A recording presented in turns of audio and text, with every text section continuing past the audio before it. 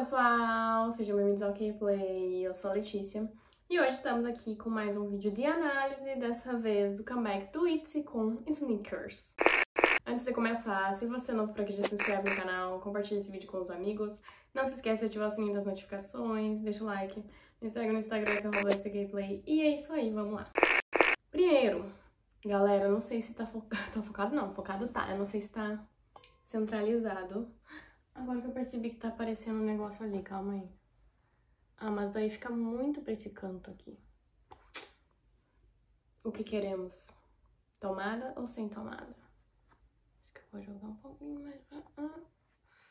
Quase não dá pra ver agora, tá. acho que agora tá centralizado. Ou não tá. Ou talvez vocês estejam tortos assim, mas eu não, não consigo arrumar, eu juro que eu tentei. E... Hum, aquele lembrete básico que temos que ter em vídeos de análise, porque as pessoas elas não conseguem compreender se a gente não falar, e às vezes mesmo quando a gente fala elas não compreendem, que parece que o cérebro tá na cabeça do enfeite. Eu não sou crítica, nem especialista, nem nada do tipo em música. Essa aqui é somente a minha opinião. E eu não preciso ser estudiosa do assunto para falar sobre, porque assim como eu não preciso ser estudiosa para falar que eu gostei ou não, vocês também não precisam ser estudiosos para falar que vocês gostaram ou não. Então, o que vale para mim também vale para vocês. Então, é sempre bom lembrar isso, né, pra gente não ser hipócrita. Porque ser hipócrita é uma coisa meio feia, né? Meio feia. A gente julga no outro o que a gente faz. Então, assim, deixando esse lembrete básico. Segundo, tá tudo bem se vocês não concordarem comigo. Eu, sinceramente, não dou a mínima. Então, desde que vocês tenham respeito à educação, ou também se não tiver, eu já cansei, entendeu? Eu já desisti da comunidade K-pop há muito tempo, então não ligo mais. E é isso aí, vamos falar desse álbum que assim, tá bom? Tá. Mas temos considerações. Temos considerações. Começamos já com a title, que é Sneakers, e como definir Sneakers. Eu tive que ouvir essa música algumas vezes para criar uma opinião sobre ela, porque apesar dela ser uma música boa, uma música que é gostosinha de ouvir, é divertida, a impressão que ficou para mim, e eu acho que é justamente por isso que eu tive que ouvir ela mais de uma vez, é que a música não é uma title. A impressão que eu tive é que ela, sei lá, uma B-side que tem um MV, tipo Swipe, sabe? Que foi uma música do ITZY que por algum motivo eles quiseram promover, fizeram MV, fizeram tudo.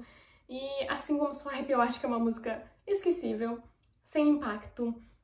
Não é uma música ruim. Esse é o ponto. Ela não é uma música ruim, mas ela não parece uma title pra mim. Enfim, gostei, gostei, mas achei fraca.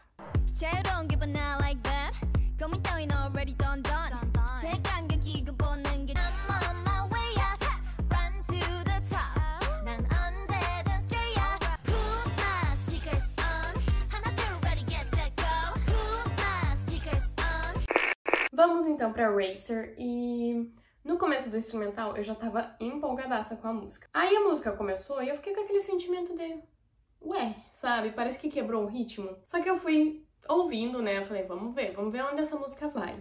E eu sou uma pessoa que eu gosto muito quando tem drop no refrão das músicas. Eu sei que a maioria das pessoas não gosta, mas eu gosto muito, então não é surpresa que eu gostei bastante do que eu ouvi aqui. É uma música que eu curti muito, inclusive enquanto eu ouvia ela, eu me diverti muito mais do que enquanto eu ouvia Sneakers. E acredito que, musicalmente falando, ela tem muito mais identidade, muito mais cara de ser uma title, de ser a música do álbum, do que Sneakers.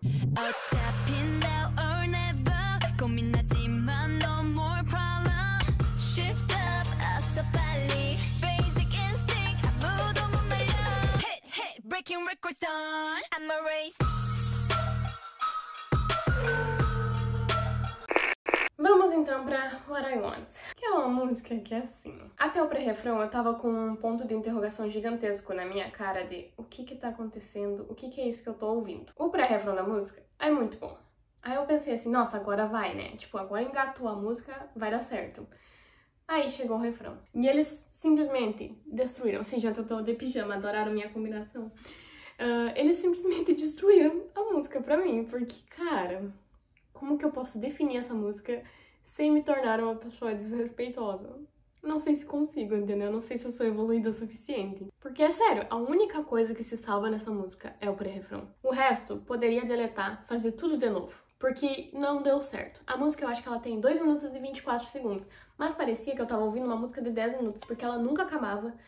E é uma tortura psicológica isso aqui. Getting what I want, getting what I want, gonna get, get what I want. Pick you up, 맘에 널 담아.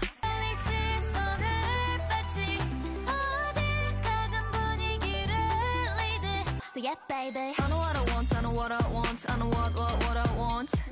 Getting what I want, getting what I want.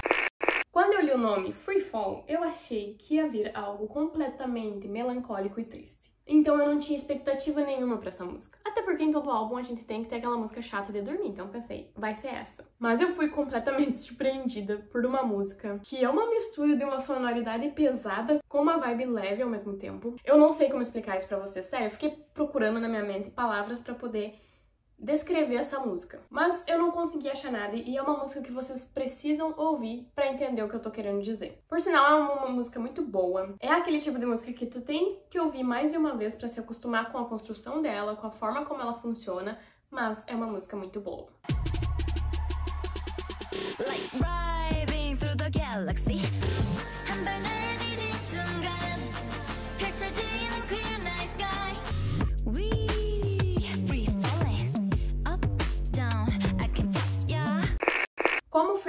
Foi a música triste, eu pensei, 365 vai ser. Por quê? 365, né? 365. Deve ser uma letra de agradecimento aos fãs por estarem com ela, sei lá, 365 dias do ano, algo do tipo. E aí, a música ela já se iniciou com uma sirene, um sentimento de urgência, assim, uma coisa muito bizarra. E eu fiquei, gente, o que que tá acontecendo?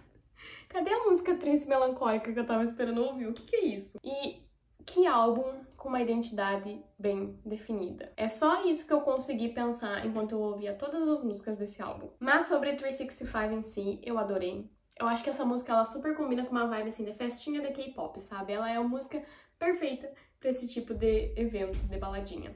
Porque ela é muito boa. Sério, é muito boa, muito divertida, é algo muito legal de se ouvir.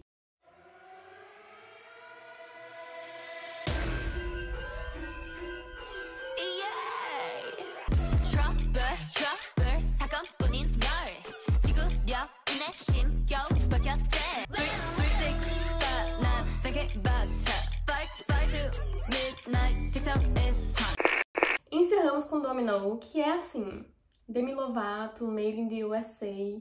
Porque, gente, é isso. Essa música, ela é isso. Eu amei. É uma vibe, assim, meio apaixonadinha, sabe? Quando tu tá recém se apaixonando e tu fica toda assim, ai, meu Deus, essa pessoa é incrível, tudo pra mim.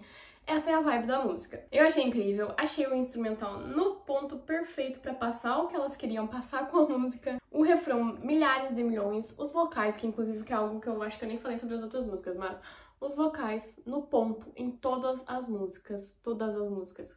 Vocês sabem que eu não sou a maior fã da voz da Yuna, porque eu acho que dependendo da forma como a Yuna canta algumas músicas, assim, não é algo que me agrada. Mas aqui, gostei da voz dela em todas as músicas, gostei da voz das meninas em todas as músicas, a Yed sempre perfeita, a Lia, um chuchuzinho. Então, assim, tudo, tudo, tudo, tudo, tudo na minha carreira.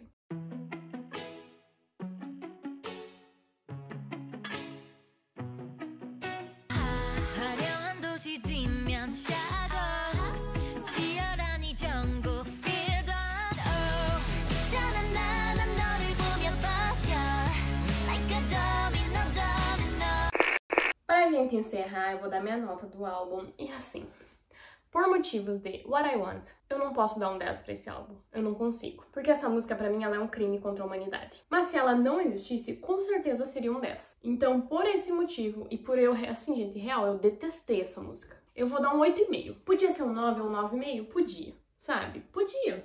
Mas eu acho que pra eu poder explicar pra vocês, expressar pra vocês a minha indignação com essa música, eu preciso reduzir a nota, assim, bastante.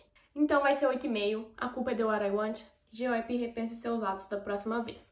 Agora, sobre o álbum em si. Eu comentei sobre isso na análise do álbum do Expa, que saiu quarta-feira, então quem quiser assistir, assista. E eu comentei lá sobre como os grupos geralmente eles não conseguem manter a mesma identidade da title nas outras músicas. Geralmente tem uma, no máximo duas músicas que seguem a mesma identidade e aí o álbum vai para outro caminho. Mas aqui eles conseguiram manter a identidade em todas as músicas do álbum. Nenhuma delas ficou distante do que a gente ouviu na title. E isso é muito bom, porque assim, tem coesão, tem coerência. Não vai ter aclamação porque o What I Want existe. Mas, sabe, o álbum conversa entre si e isso é perfeito. O álbum, de forma geral, tá muito bom, tirando What I Want. Então, assim, assim, ainda quero fazer um vídeo falando sobre o rumo que a carreira do Itzy está tomando. Mas eu acho que esse álbum ele veio para dar uma ressuscitada na situação, uma melhorada na situação, entendeu? Mas vamos falar sobre isso mais por Muito obrigada quem assistiu até aqui. Se você é novo, não se esquece de se inscrever no canal, deixa o like, comenta, compartilha e até a próxima.